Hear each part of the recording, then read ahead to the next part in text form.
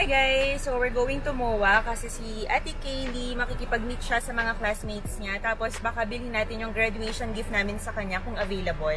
Kasi mga nakaraang araw tumitingin kami sa Converse, wala. Pero may bago siyang gusto ngayon, Vans daw.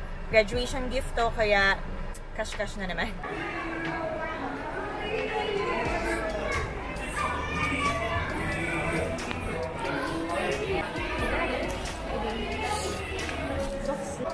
So, dito may hinahanap na shoes si Ate Kaylee na mahilig sa shoes.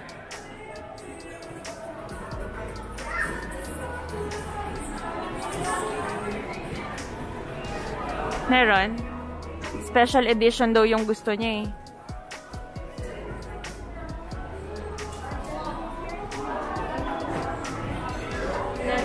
So, walang nakita si Ate Kaylee na shoes doon sa SM Dep Store. Kaya nagpunta na kami dito sa may Laser Arena dahil dito sila magmi-meet ng kanyang mga besties. Katapat ng Laser Arena itong 19 degrees na pinipilahan. Ewan ko ba, pero kasi kakaiba yung lalagyan niya. Para siyang nasa incan. Thai milk tea ang in-order ko para maiba naman. Okay naman yung lasa, wala namang espesyal, yung lalagyan lang. Si Ate Kaylee in-orderan ko ng orange juice na kung hindi niya nagustuhan. Meron kasing fresh fruit na orange kasama yung balat, eh mapait daw. Nandito na yung classmates ni Kaylee.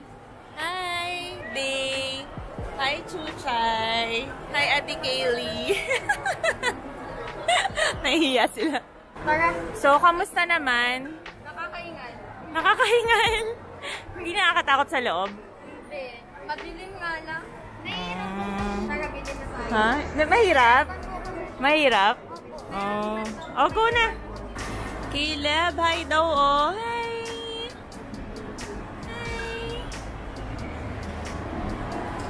Hi. Nag-hi sa'yo, oh. Si Ate Alexa. O, tingin lang siya, okay? Tinitingnan lang si ate. Uy, nakikipag-play siya. Hi! Hi daw, hi! Hi daw! Hi! May cake pa. Galing kay Chuchay. Yes. Ano. Hayaan mo na. Lumuluhod ka pa dun, diba? Caleb, isa lang baon nating diaper. Ayan. Napabili tuloy tayo nang wala sa oras. Kaylee, Kaylee. Ito yung pag naliligo. oh. Yan ba yun? Hmm. Tingin mo. Sige. Magka tingnan mo magkano. 100 pesos. Where? 100 pesos lang yan, 99. Eh, effect ba yung kay Kay? Ay, hindi. Nakahiga si Caleb maligo eh. Pag nakaupo. Kapag naupo na yan. Ah, ganun yun. Yun, 99 lang. O sige, bilhin na natin yan.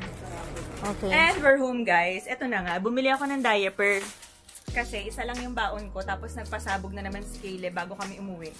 Hindi ko alam kung bakit isa lang yung dinala ko. Eh, lagi naman ako nagdadala ng extra. Ayan o, may dumating pa naman akong diaper ngayon. Di, ayan, doble-doble tayo ngayon ng diaper. Puro diaper yan. Tapos, ayun, yun lang. At ayun na nga, dahil 7.30 na, sleeping time na ni Caleb.